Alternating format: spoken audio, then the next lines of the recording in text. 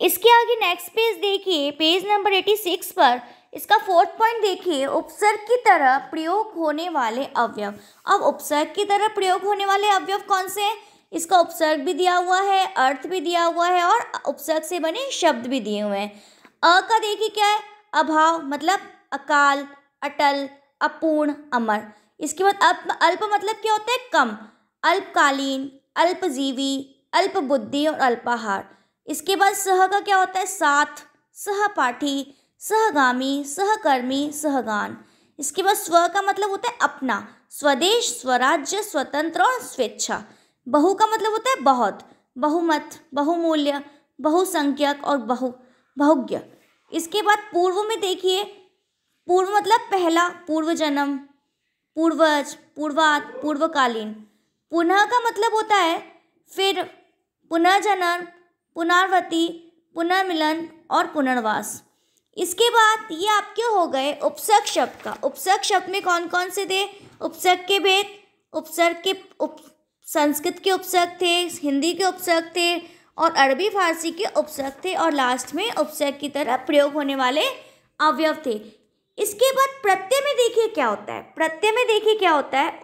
प्रत्यय भी उपसर्ग की तरह ही शब्दांश होते हैं। प्रत्यय क्या होते हैं? उपसर्ग की तरह ही शब्दांश होते हैं। अंतर केवल क्या होता है? उपसर्ग शब्दों के आरंभ में जोड़ते हैं मतलब पहले जोड़ते हैं, और प्रत्यय शब्दों के अंत में जोड़ते हैं। उपसर्ग हमेशा शब्दों के पहले जोड़ते हैं, और प्रत्यय शब्दों के अंत में जोड़ते हैं। जो शब्दांश शब्दों के अंत में जुड़कर या तो उनका अर्थ बदल देते हैं, या उनके अर्थ में विशेषता ला देते हैं। उन्हें प्रत्यय कहते हैं। मतलब जो शब्दांश शब्दों के अंत में जुड़कर या तो उनका अर्थ बदल देते हैं या उनके अर्थ में विशेषता ला देते हैं। उन्हें क्या कहा जाता है? प्रत्यय कहा जाता है। अब शब्द प्रत्यय के भेद देखिए। प्रत्यय के कितने भेद होते हैं? प्रत्यय के दो भेद होते हैं। कृत प्रत्यय और तदित प्रत्यय। अब कृत प्रत्यय में क्या है? जो प्रत्यय क्रिया के मूल रूप अर्थात धातु के अंत में लगकर नए शब्दों का निर्माण करते हैं। जो प्रत्यय क्रिया के मूल रूप, जो मूल रूप होते हैं, उसके धा, उसके धातु के अंत में लगकर नए शब्दों का निर्माण करते हैं। तो ये कृत प्रत्यय कहलाते हैं, जैसे लिख, फिर आई लिखाई। पढ़, आकू मतलब पढ़ाकू। सुन, वाई मतलब सुनवाई अब कृत प्रत्यय के उदाहरण देखिए, क्या प्रत्यय दिया है? मूल शब्द दिए हैं और इसके प्रत्यय से बने शब्द भी दिए हुए हैं। जैसे आ शब्दों से देखिए, भूख, मेल, प्यास। तो क्या इसका क्या बन जाएगा? भूखा, मेला, प्यासा।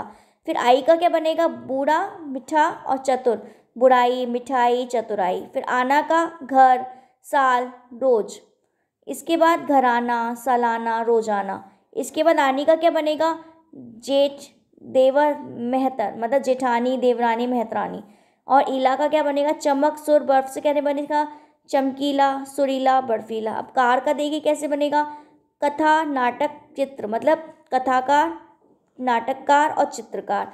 इसके बाद नेक्स्ट पेज देखिए पेज नंबर एटी सेवन पर। इसी के आगे है ये, कृत शब्द के और अन्य उदाहरण भी हैं। जैसे देखिए, दार का क्या बन जाएगा? दुकान, ईमान और चौकी, इसका क्या बन जाएगा? दुकानदार, ईमानदार और चौकीदार। अब पन का देखिए, बच्चा लड़का और काला तो इसका बचपन, लड़कपन और कालापन। वहाँ का क्या बन जाएगा? पाँच, सात और दस। पाँचवा, सातवां, दसवां। इसके बाद वाला का क्या बनेगा? रिक्शा, चाय, अखबार। तो रिक्शा वाला, चाय वाला, अखबार वाला। अब ईमा का क्या बनेगा? काला, नीला, लाल। तो इसका काली माँ, नीली माँ, लाली माँ। ई का क्या बनेगा? स्वर्ग, भारत शासक तो स्वर्गीय, भारतीय शासकीय। तम का क्या बनेगा? श्रेष्ठ, महा, उच्च। तो मतलब श्रेष्ठतम बन जाएगा, महानतम बन जाएगा, उच्चतम बन जाएगा। त्व का क्या बन जाएगा?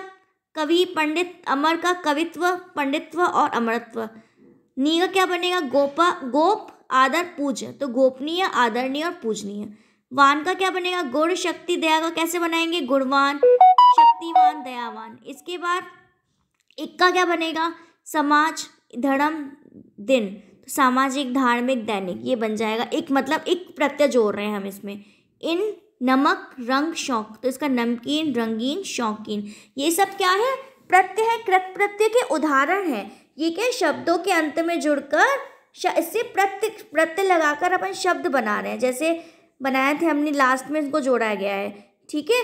इसी के साथ ही ये चैप्टर सेवनटीन कंप्लीट होता है। इसकी एक्सरसाइज और क्वेश्चन आंसर्स की फ़ोटो मैं आपको सेंड कर रही हूँ।